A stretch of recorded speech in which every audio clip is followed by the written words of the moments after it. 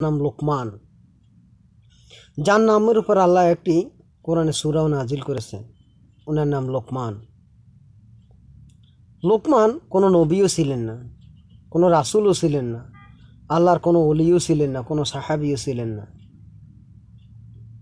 তো লোকমানের নাম কেন কোরআনে আনা হলো জানেন আপনারা? আমি লোকমানের জীবনী থেকে পেয়েছি। লোকমান যখন বৃদ্ধ হয়েছিল, তখন সেই লোকমান তার ছেলেদেরকে একশোটি উপদেশ দিয়েছিল। ইনশাআল্লাহ পরবর্তীতে আমি আপনাদেরকে একশোটি উপদেশ জানাব। তো লোকমানের জীবনী সম্বন্ধে যে কথাটা বলতে চাচ্ছি, যে লোকমানের বৃদ্ধকালে তাকে প্রশ্ন করা হয়েছে যে- যে লোকমান, তুমি এত জ্ঞানী হলে কীভাবে? তার প্রতি উত্তরে লোকমান কি বলছে জানেন? যে, আমি খারাপ লোকের খারাপ কাজগুলো আমি বারবার লক্ষ্য করতাম।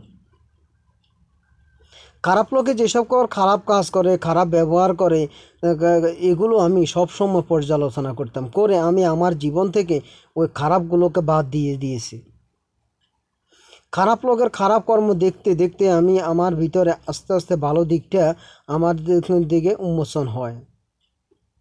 এভাবে আমি আস্তে আস্তে অনেক জ্ঞানের অধিকারী হই। এই কারণে আল্লাহ বলেছেন, তোমরা জ্ঞানী হও, লোকমানের মতন জ্ঞানী হও। লোকমানের জ্ঞানের কথা সারা পৃথিবী পর্যন্ত জানে। আল্লাহ নিজে পর্যন্ত কোরআনে তার কথা উল্লেখ করে গেছেন। লোকমানের কথাগুলো আজীবন মানুষের নির্দেশনা হিসাবে থাকবে। আপনারা যারা জীবনে জ্ঞানী হতে চান, যে আপনি দেখেন অনেক আপনার আশেপাশে আপনার যত খারাপ লোক আছে, আপনি খারাপ লোকদের খারাপ কাজগুলো একটু দেখুন। আপনার যেটা পছন্দ হয় না, যে খারাপ কাজের কারণে কার কী পরিণত হয়েছে, আপনি এগুলো একটু দেখুন, বুঝুন। আপনি আপনার জীবন থেকে এগুলো বাদ দিয়ে দিন, খারাপ কাজগুলো, খারাপ ভাষাগুলো, খারাপ দিকগুলো আপনি বাদ দিয়ে দিন। দেখুন, আপনিও সেই লোকমানের মতন আপনিও জ্ঞানী হতে পারবেন ইনশাল্লাহ লোকমান যেমন মানুষকে, মানুষের খারাপ দিকগুলো পর্যালোচনা করে সে জানতে পারছে যে এগুলোই মানুষের জীবনে সবচেয়ে ক্ষতি বহন করে আনে।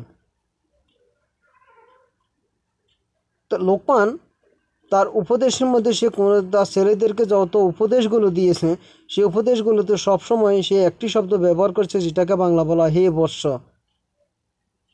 সে কোনো দিন তার ছেলেকে গালি দেয় নাই। খারাপ ভাষায় জীবনে কোনো দিন তার ছেলেকে ডাকে নাই।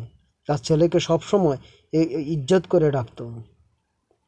লোকমানের ভাষা ছিল এরকম মধুর। লোকমান যে উপদেশগুলো দিয়েছেন, যদি এই উপদেশগুলো পৃথিবীর সর্বকালে সর্বশ্রেষ্ঠ উপদেশ হিসাবে এটা প্রমাণিত হয়ে থাকবে, যে যেগুলো বলছে, এগুলো যে চিরন্ত সত্য কথা, যা আমাদের জীবনের অনেক কাটতে উপকারিত হয়। আমরা যেন লোকমানের মতো